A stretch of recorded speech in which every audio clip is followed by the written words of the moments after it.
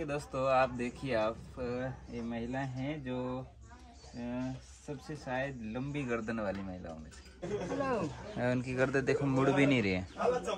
ये ऐसे मोड़ नहीं सकते और कितने कमज़ोर हो चुके भाई। ये देखिए, बाहर एक सिगड़ी के ऊपर ही अपना खाना वाना बनाते हैं और रसोई ऐसे रहती है। ओ, हेलो। बाप रे, बहुत छोटी सी गुड़िया है। इसके भी देखो रिंग डाली हुई। ये भी कुछ बना रहे हैं। यहाँ पे ये सारा जो सामान बनता है, ये अपने हाथ से बनाते हैं, हैंडीक्राफ्ट का ये पूरा चीज़ बना हुआ है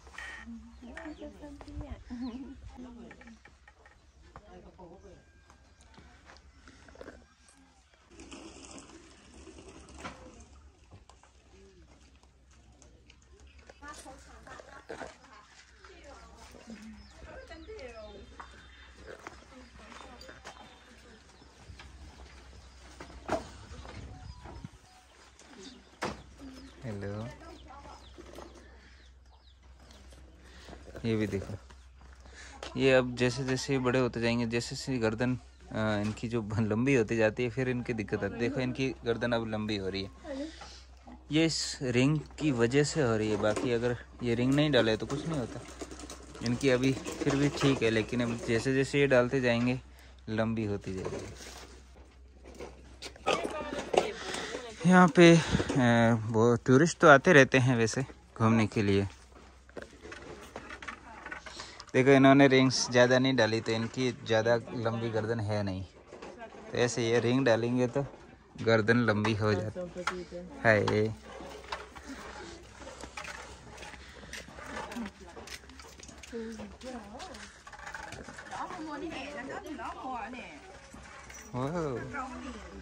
सो ब्यूटीफुल हाउ ये क्या पहन रखा है?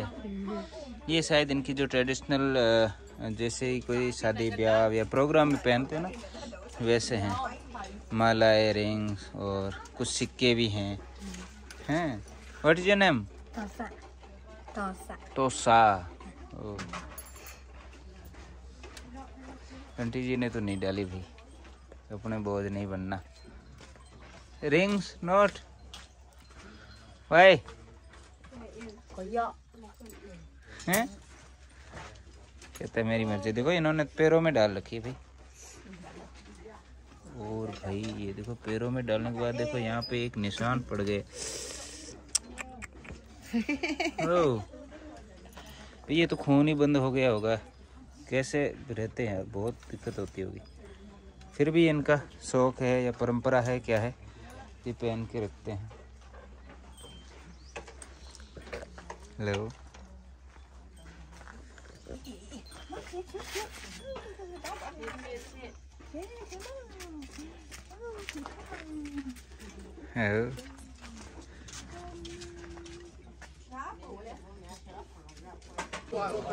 भाई इधर एक और आंटी जी हैं काफ़ी बुज़ुर्ग लग रहे हैं लेकिन इनकी देखो गर्दन। ये शायद सबसे लंबी गर्दन वाले हैं। हेलो उनकी गर्दन देखो मुड़ भी नहीं रही है। ये ऐसे मोड़ नहीं सकते और कितने कमज़ोर हो चुके भाई।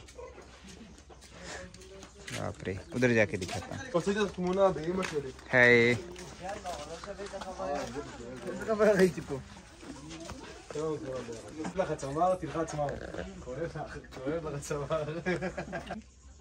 ओके दोस्तों आप देखिए आप ये महिला हैं जो सबसे शायद लंबी गर्दन वाली महिलाओं में से। कितनी लगभग थर्टी वन रिंग्स है गले में। और वैसे इतनी लंबी गर्दन होने के खतरे भी बहुत हैं। अगर ये रिंग हटा दे तो फिर इनका जो वज़न है वो नहीं झेल पाएँगे, कितनी कमज़ोर हो चुकी होगी। लेकिन यहाँ इनकी शायद यहाँ परंपरा है इस ट्राइब्स की, कि इस प्रकार की गर्दन होनी चाहिए। लंबी जितनी गर्दन होगी, उतनी ही खूबसूरत लगती होगी। ऐसे कुछ इनके जैसे नियम होते हैं वैसे ही इनका कुछ नियम है। हेलो। हाय, ठीक है। ठीक है। एक भाई ये सारा चीज़ है वो। बेच के अपना गुजारा करते हैं शायद। Hello. Name? My name is Mana okay और कितनी खूबसूरत पिक भी हैं।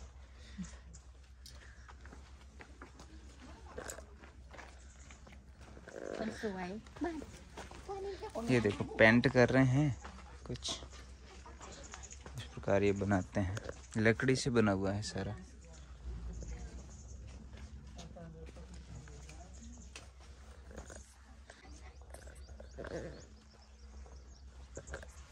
इधर इनकी रसोई है।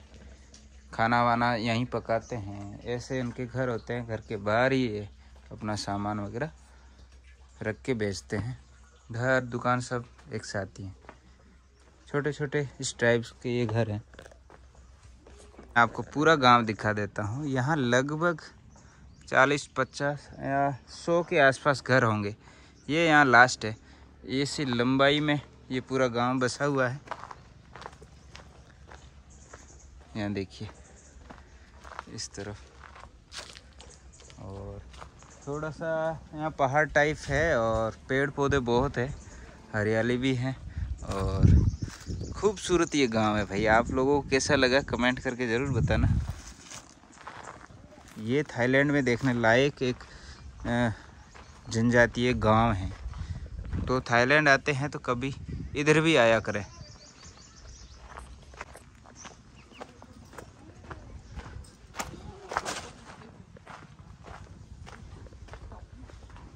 एंजॉय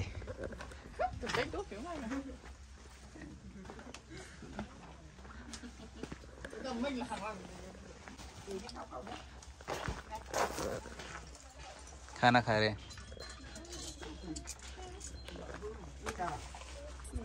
शायद ये सबसे छोटी गुड़िया होगी जिसके गले में इतनी रिंग्स है। एक, दो, तीन, चार, पाँच, छः, सात, आठ रिंग्स डाल रखी है भाई। हैं?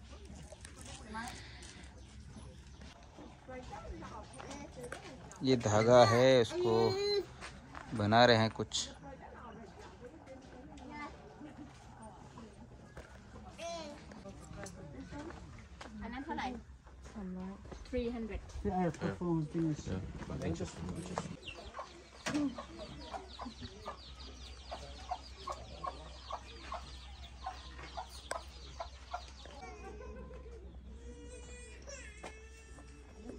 हेलो व्हाट्स योर नेम इनको नहीं आ रहा कुछ समझ में। एक चीज़ और है ये लोग बहुत कम बोलते हैं। आप देखो बिल्कुल शांत है। कोई अपने अपने काम में लगे हुए हैं। ये भी बहुत छोटी सी गुड़िया है। इतने इतने छोटे छोटे बच्चे भी काम सीख जाते हैं घर का काम करते हैं। शायद यहाँ स्कूलिंग या पढ़ाई का इतना हो, हो, होगा नहीं। नहीं तो ये बच्चे आज स्कूल होते हैं। ये सब, मुझे लगता है ये काम करते हैं, देखो। कोई फालतू में इधर उधर घूमता हुआ, खेलता हुआ भी नहीं नज़र आता, बस। काम सीखते हैं छोटे छोटे बच्चे। हाय।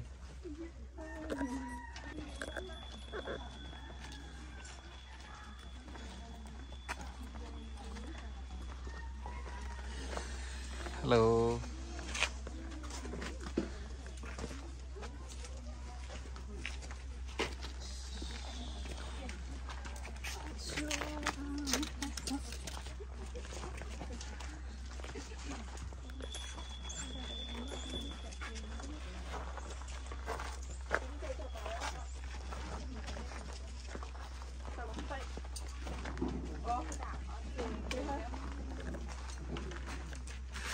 ये है इनके घर वगैरह।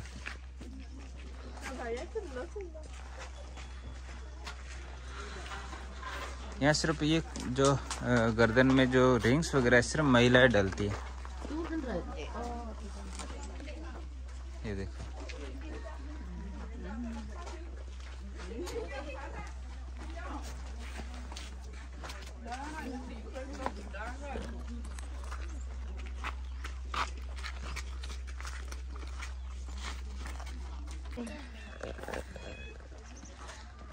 Wow, so beautiful.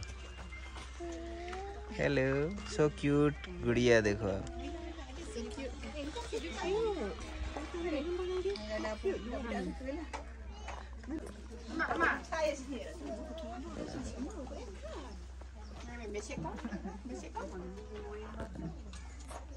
mà ông bên đủ mà ông bên đủ ở châu là ngủ cho được chơi tôi tới đây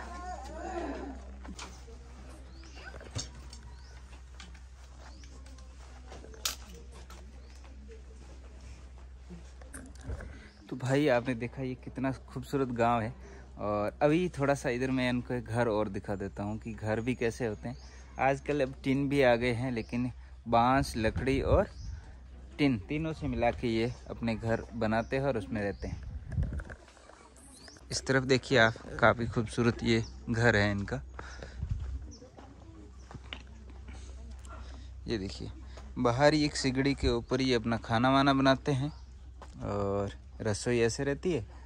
बाकी शायद ऊपर सोने वगैरह के लिए ऊपर रूम है और इधर टॉयलेट है, ऐसा है। तो काफ़ी अच्छा है यहाँ।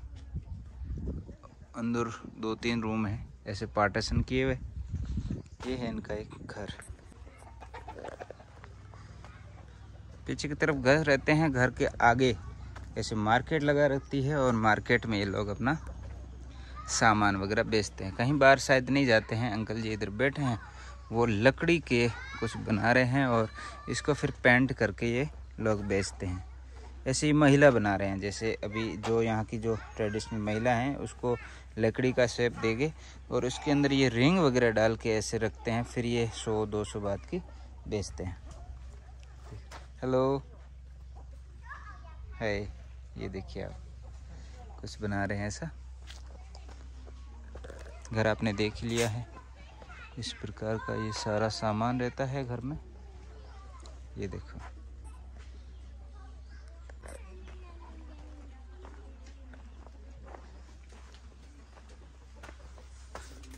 लोग बड़े सीधे हैं, कोई ज़्यादा बात भी नहीं करते, ना अग्रेसिव होते। बहुत शांत स्वभाव के लोग, प्यारे लोग हैं, देखिए।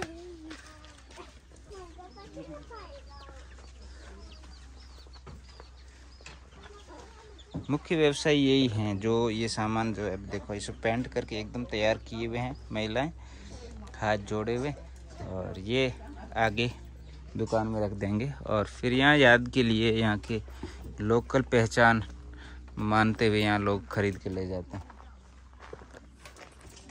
देखो बच्चा खेल रहा है, अपनी धुन में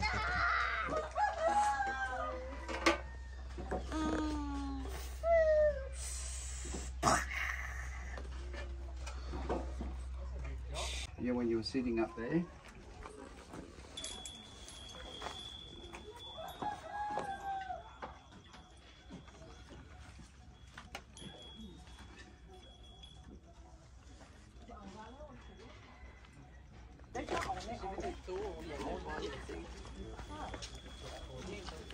Hello. Hi. See, euh, vrai que les antiques.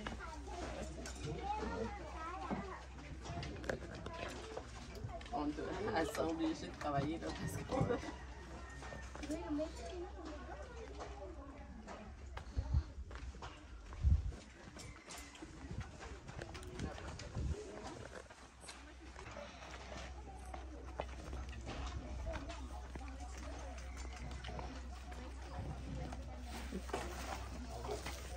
Didn't with it.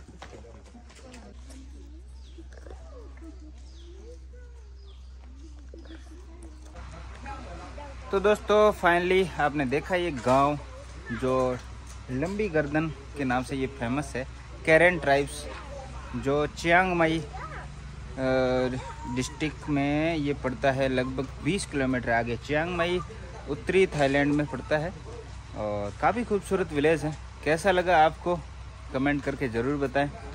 मिलते हैं ऐसे ही कोई और नई थाईलैंड की ऐसी कुछ चीज़ें आपको और उनसे रूबरू कराते हैं कि थाईलैंड में क्या क्या और देखने लायक चीज़ें। सिर्फ़ उसी की मसाज के लिए लोग नहीं आते हैं। और भी बहुत सारी चीज़ें हैं जो देखने लायक है और घूमने लायक है। अगर घूमना चाहे तो। नहीं तो क्या इंडियन लोग, मैंने कहा ना, यहाँ मैं अकेला आया वो बता रही थी वो कि कोई आता ही नहीं है। क्योंकि यहाँ तक आता ही नहीं, वहाँ सिर्फ़ बैंकॉक, पटाया से आगे निकलता ही नहीं है। और वहाँ देख के निकलते हैं, इसलिए बेचारे को बदनाम करते हैं थाईलैंड को। बाकी थाईलैंड को अगर असल में घूमना चाहे तो बहुत खूबसूरत है। तो अपन घूमते हैं। तो बाय मिलते हैं नेक्स्ट वीडियो में, तब तक के लिए धन्यवाद।